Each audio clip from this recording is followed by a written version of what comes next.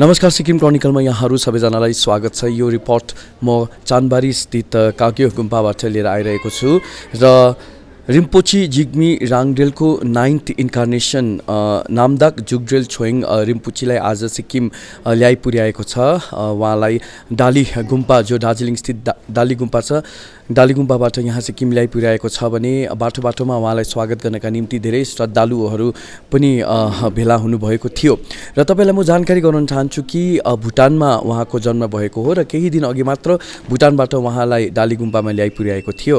र छब्बिस डिसेम्बरको दिन उहाँको इन्थ्रोनमेन्ट सेरेमनी हुनेछ। यसै गुम्पामा चानबारी स्थित कागे गुम्पामा भने सत्ताइस अनि अट्ठाइस तारिक उहाँले जति पनि श्रद्धालु हुनुहुन्छ उहाँहरूलाई अ, दर्शन दिनुहुनेछ।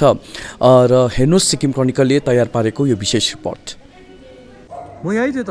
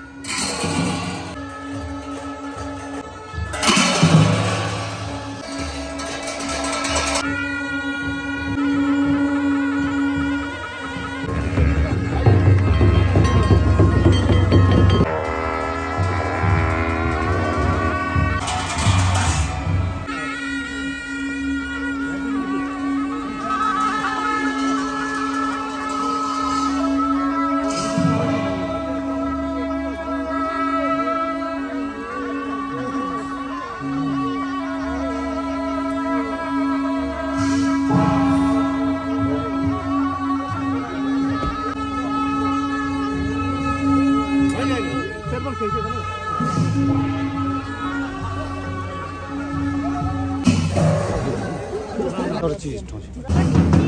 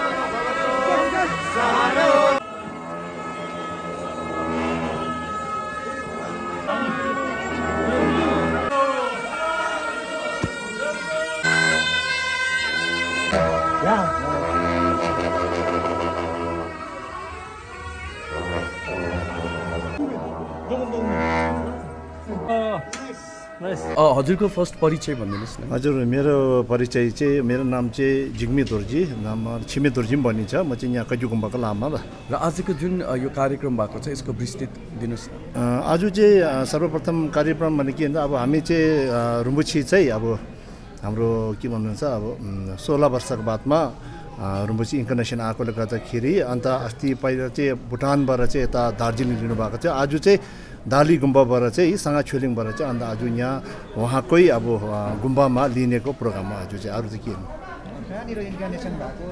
इन्कर्नेसन चाहिँ तपाईँको यो डुक बुमथाङ भन्ने जग्गामा भएको होला। उहाँको इन्कर्नेसन चाहिँ अहिले नौवा इन्कर्नेसन चाहिँ होला।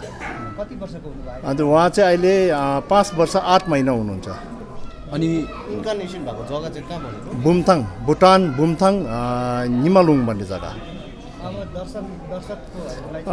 हजुर हजुर। अब तपाईँको चाहिँ यो प्रोग्राम चाहिँ तपाईँको छब्बिसको दिन चाहिँ इन्थोलमेन्ट प्रोग्राम हो। अब त्यही दिन चाहिँ अब तपाईँको अब बिआइपिसहरू गुम्बाहरू अब गुम्बाको ब्रान्चेसहरूलाई त्यही दिन चाहिँ अब प्रोग्राम त्यस्तो छ। अन्त सर्वसाधारणको लागि चाहिँ तपाईँको सत्ताइस र अट्ठाइस अन्त नाइन टु वान पिएमसम्म हुनुहुन्छ। श्रद्धालुहरूको लागि चाहिँ यहाँ ल्याउनु कतिको अ, श्रद्धालुको लागि त धेरै इम्पोर्टेन्ट थियो किनभने हामी यो डुक्पा लिमेजको चाहिँ सिक्किममा चाहिँ धेरैवटा गुम्बा छ। अन्त रुम्बुची नभएकोले गर्दाखेरि सोह्र वर्षको बादमा अवतारी आउनेले गर्दाखेरि चाहिँ अन्त एकदम इम्पोर्टेन्टै थियो किन धेरैजनाको गुम्बाहरूको अब के भन्छ लामाहरूको त्यस्तै गरेर जिन्दाहरूको धेरैवटा मागहरू पनि थियो ल उहाँलाई आइडेन्टिफाई गर्नु तपाईँहरूलाई कति टाइम लाग्यो? आइडेन्टिफाई गर्नु चाहिँ हामीले चाहिँ होइन हिज होलिनेस ग्यावाङ डुक्पा थम्ची खेम्बाले चाहिँ आइडेन्टिफाई गर्नुभएको।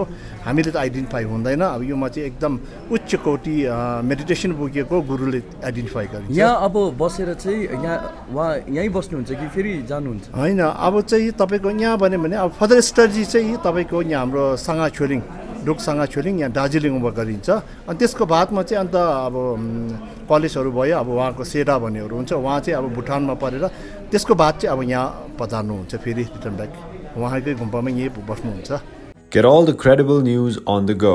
Download the Sikkim Chronicle app.